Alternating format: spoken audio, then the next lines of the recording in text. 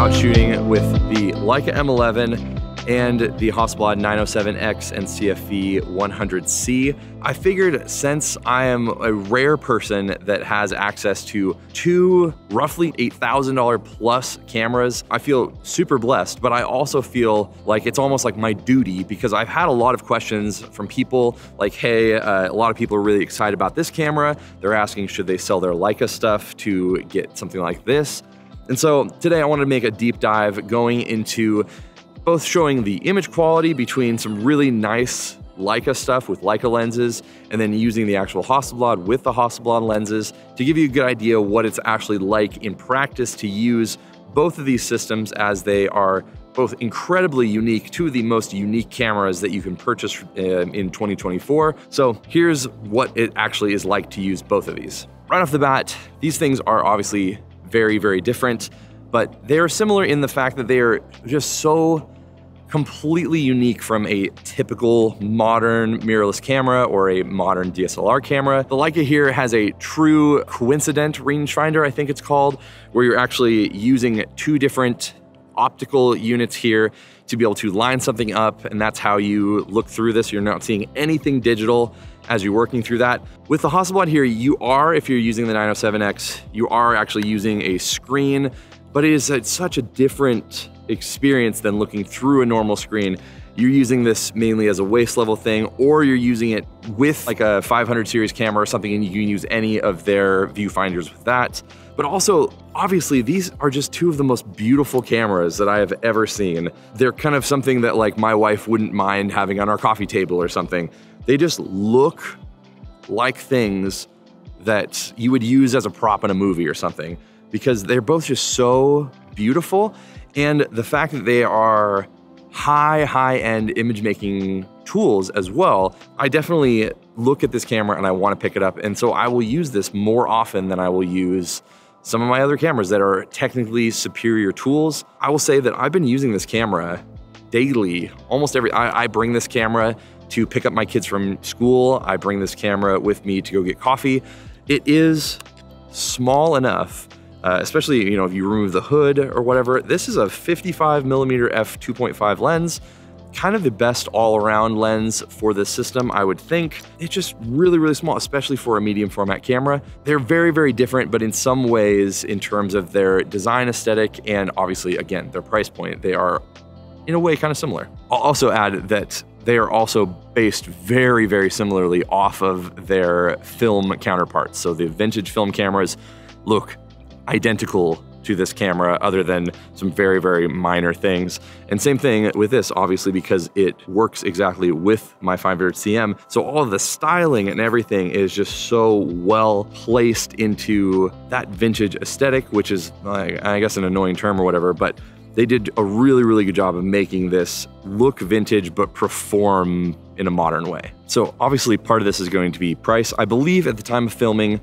the Hasselblad comes in at, I think, 8200 which again is not cheap by any means. The Leica comes in a little bit more actually at $9,000, but they're definitely not cheap. And I do want to say too that like if you're looking at this and lusting after it, like I have, I, it took me a long, long time to be able to justify buying a Leica myself. And ever since the CFV 50C came out, uh, not even the 907X version, but the original 50C that worked only on the 500CM and only worked as a digital back.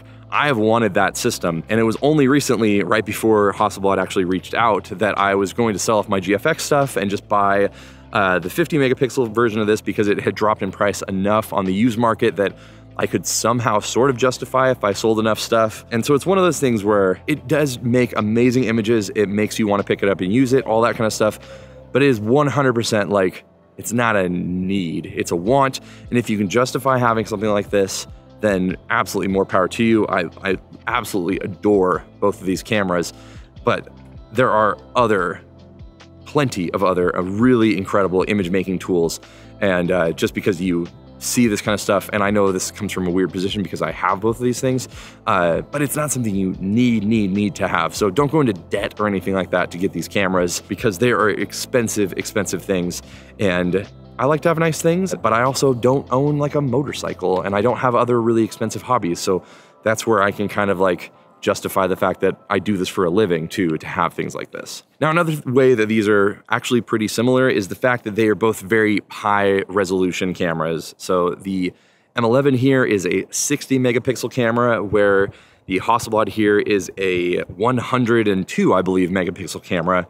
And that means that they are very dense in their pixels, but it also means that they have a lot of sharpness. Uh, they also have a really, really good dynamic range, both of them. Um, and especially the Hasselblad has a lot of like color fidelity um, and just a lot of really, really amazing color science that both of these have going into them.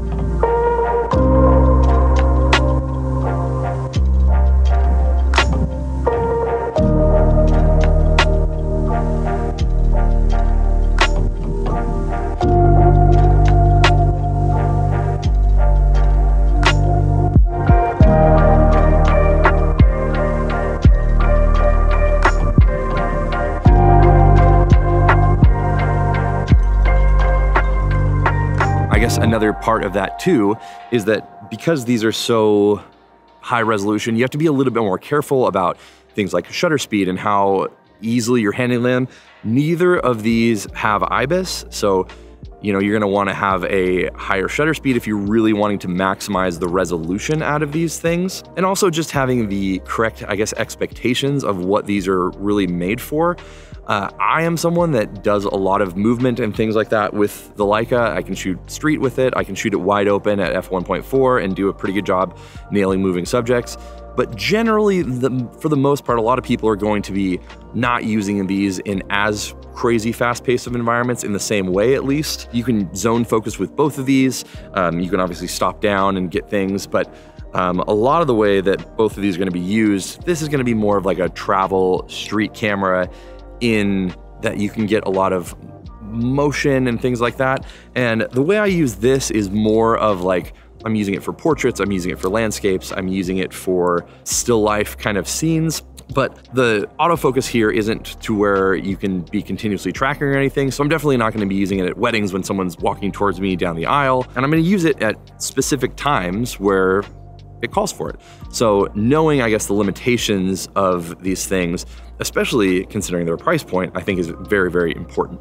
So thanks so much for watching. If you're interested in the presets I used for these photos, you can check them out in the description down below. Give this video a like if it was useful, subscribe if you haven't already, and then check out one of the videos here for more Leica or Hasselblad content.